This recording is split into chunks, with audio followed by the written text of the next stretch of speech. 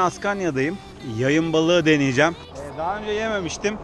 Bakalım hem yayın balığını deneyeceğim hem de burayı size göstereceğim. Şöyle etrafta ne var ne yok, nasıl bir yer onu göstereceğim. Hazır bugün hafta içi sezon da kapanıyor kimse yokken rahat rahat e, gezelim istiyorum. Yani buranın bence en güzel yeri tam böyle göl kenarı. işte sessiz, sakin, doğayla iç içe bir sürü kuş sesleri. O açıdan çok keyifli diyebilirim. Şöyle etrafa bakacak olursak şurada bungalov evleri var. Havuz falan da var. Orayı bir göstereyim.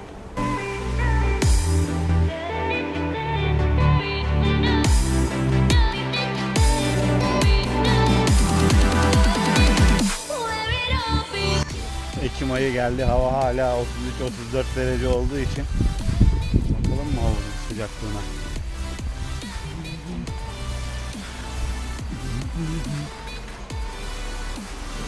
Evet gayet güzel. Gayet iyi.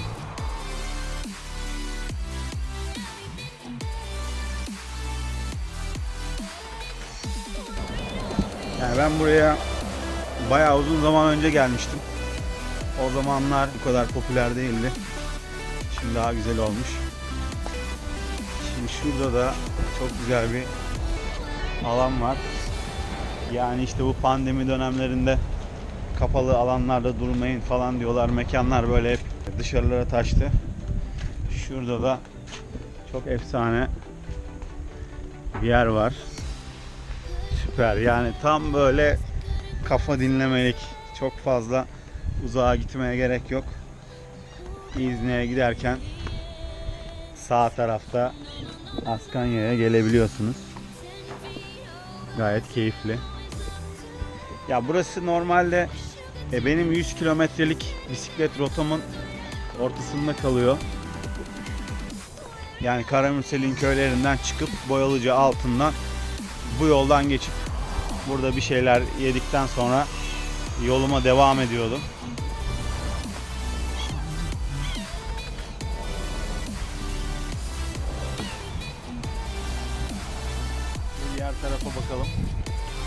Orayı da gösterip sonrasında balığımızı yiyeceğiz. Şimdi burada bisiklet kiralama olayı da var. Gayet güzel bisiklet kiralayıp tur yapabiliyorsunuz. Böyle krom. Bir tane de tandem. Zincir korumaları da iyiymiş. Evet tandem seçeneği de var. Gayet güzel.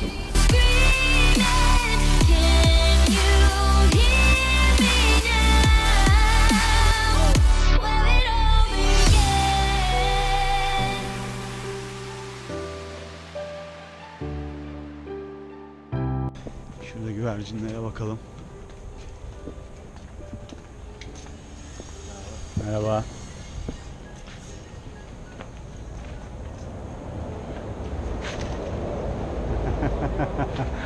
Ee, Şu alt tarafta tavşanlar. Pişt pişt pişt daha alışmış bunlar.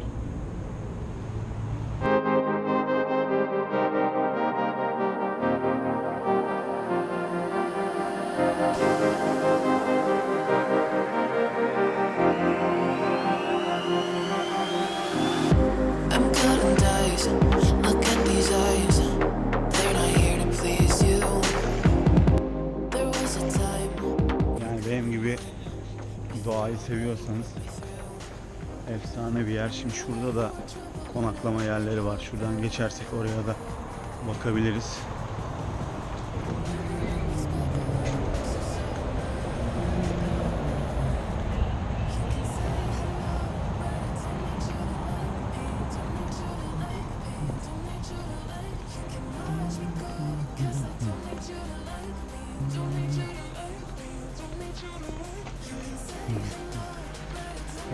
bir şey böyle. Gel bakalım gel.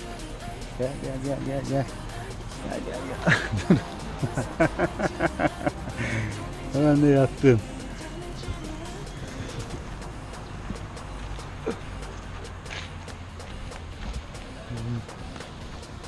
Ancak şeklimiz.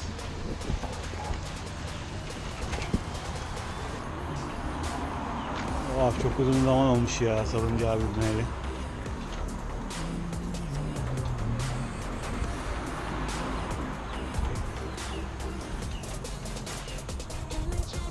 Hayvanat bahçesi varmış ona da bakalım.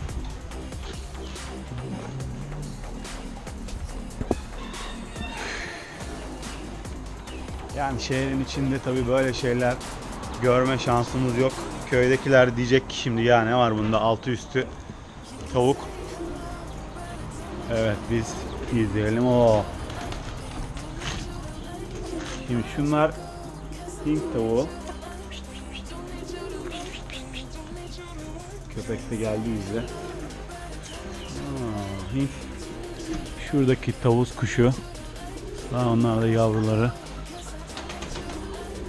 Hindi de var. Yine bir sürü güvercin. Aa, tavus kuşunun renkli olanları saldırır mısın acaba kameraya?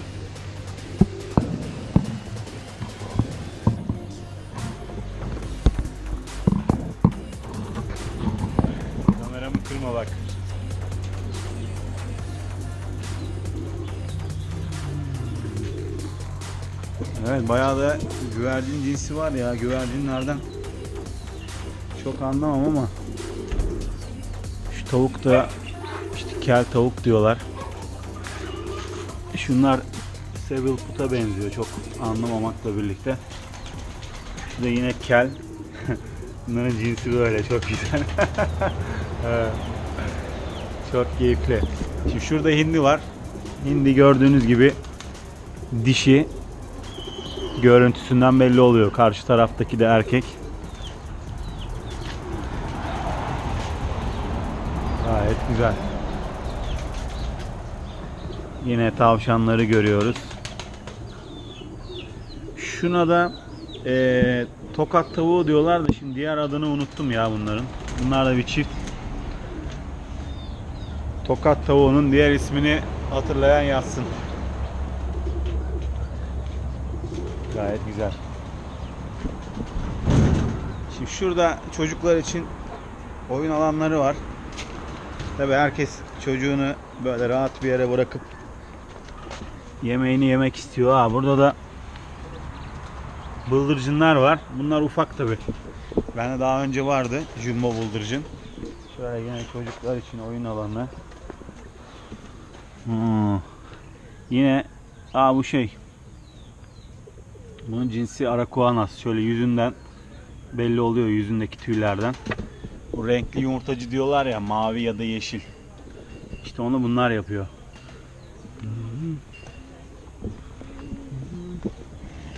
Aha. Dur sakin ol dur. Ha bunlar da sultan tavuğu olduğunu düşünüyorum. Bunların bu rengini görmemiştim daha önce. Şu horozu, şu da tavuğu sultan. Evet. Midilli atı. Şimdi saldırmasın. Ve eşekçiğimiz.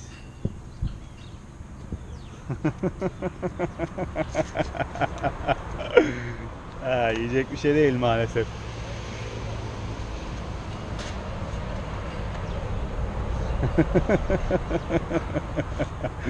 Ha.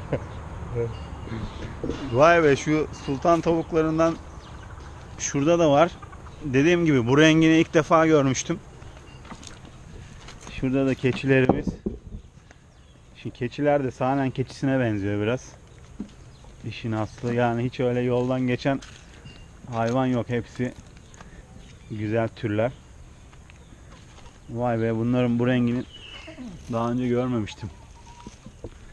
Gayet güzel.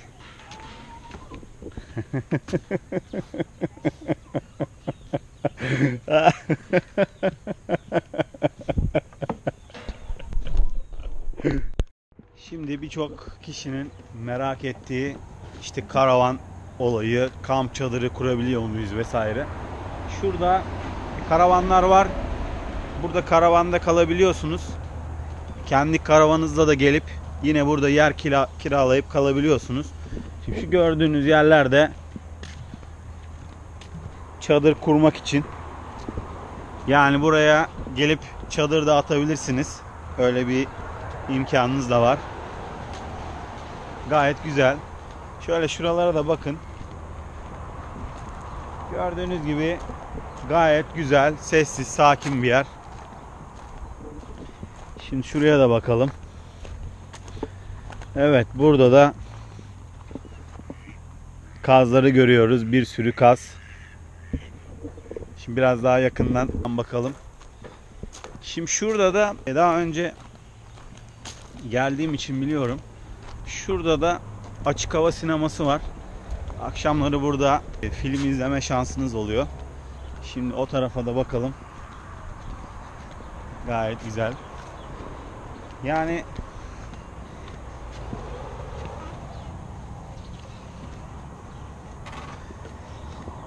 Evet, buradan göle girme şansınız var. Zaten şezlonglar da var. Şöyle armutlar falan. Akşamları da dediğim gibi burada açık hava sineması oluyor. Şöyle tekneye doğru gidelim.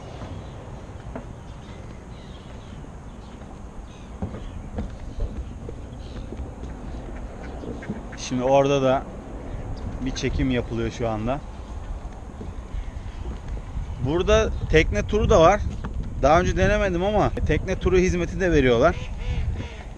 İletişime geçip tekne turu yapabiliyorsunuz. Şöyle buraya kadar gelip de denize düş göle düşmezsem. Evet. Tekne de bu. Gayet güzel. Şimdi şu kazlara, ördeklere bakalım yakından. Yani şurada bir şeyler yerken işte tabağınızda marul kaldı, yeşillik bir şey hemen atıyorsunuz. Kazlar gelip anında çözüyorlar. Şimdi orada e, çekim olduğu için kazlar, ördekler bu tarafa kaçmış. Şimdi onlara bir yakından bakalım bakalım neler var.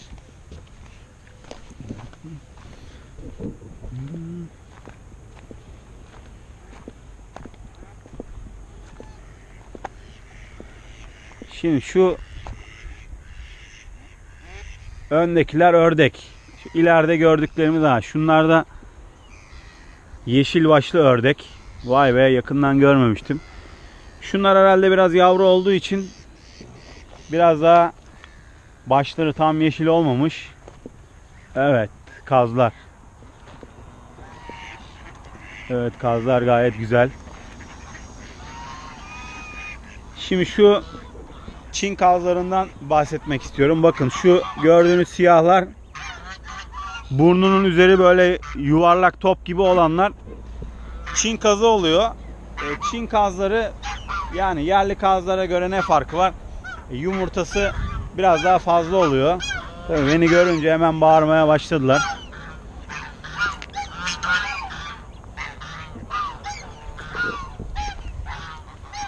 Yani özellikle hafta içi e, tam bana göre bir yer diyebilirim. Sessiz, sakin, dert yok, tasa yok. Kafa rahat. Efsane yani burası. Tam böyle dinginlik vaat ediyor. Süper. Dinginlik arıyorsanız burada vakit geçirebilirsiniz. Şimdi etrafı gösterdim size. Evet şimdi bir de yayın balığının tadına bakacağız. Evet siparişimi verdim. E, bu arada mekan da gayet güzel. Masalar böyle çok geniş hiç iç içe oturmuyorsunuz. Gayet keyifli.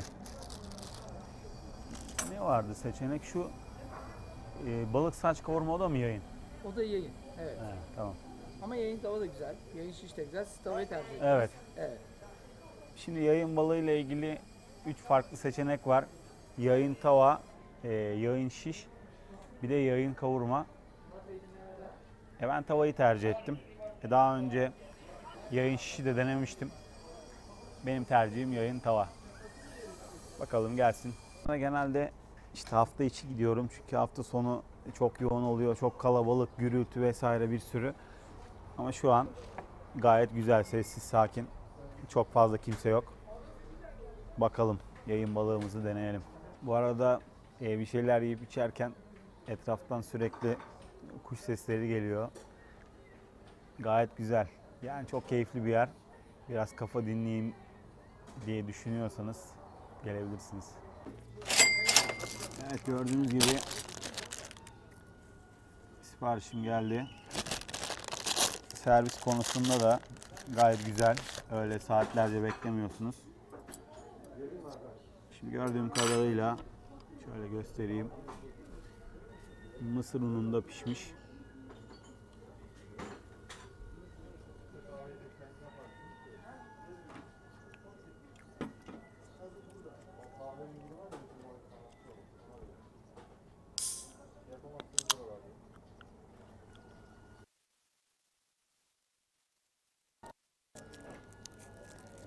Şimdi gayet lezzetli bir tadı var. Şimdi bununla ilgili deniz balıklarında olmuyor da tatlı su balıklarının bazılarında mesela e, balığın yaşadığı yöre göre yere göre değişiyor tabi. böyle bazı yerlerde çamurumsu bir tat oluyor. Yani alabalık da yeseniz balığın ortamla ilgili yani çamurun içinde yaşıyorsa e, bir çamur tadı oluyor. Normalde tabi biliyorsunuz alabalık akarsuda yaşaması gerekiyor. Sabit olduğu zaman aynı lezzeti olmuyor. Ama bunda kesinlikle öyle bir şey yok. Yani sanki normal bir deniz balığı yiyormuşsunuz gibi.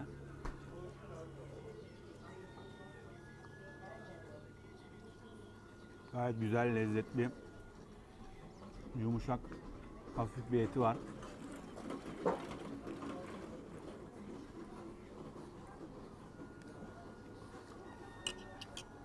Yani denizden hangi balığa benziyor derseniz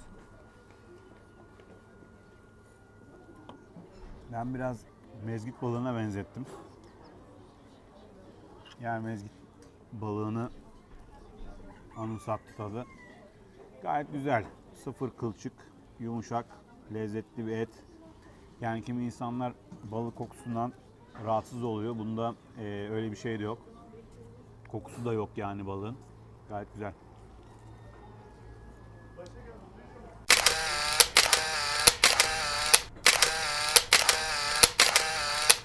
Tabii e, bir mekanda en çok dikkat ettiğim şeylerden bir tanesi de hızlı servis oluyor. Eğer servis çok uzun sürerse e, sıkıcı oluyor ama burada servis de gayet hızlı. Gayet güzel yani. O konuda da bir problem yok. Şu balıkla birlikte gelen sos da gayet güzel. Ee, sarımsak falan var herhalde içinde. Gayet keyifli.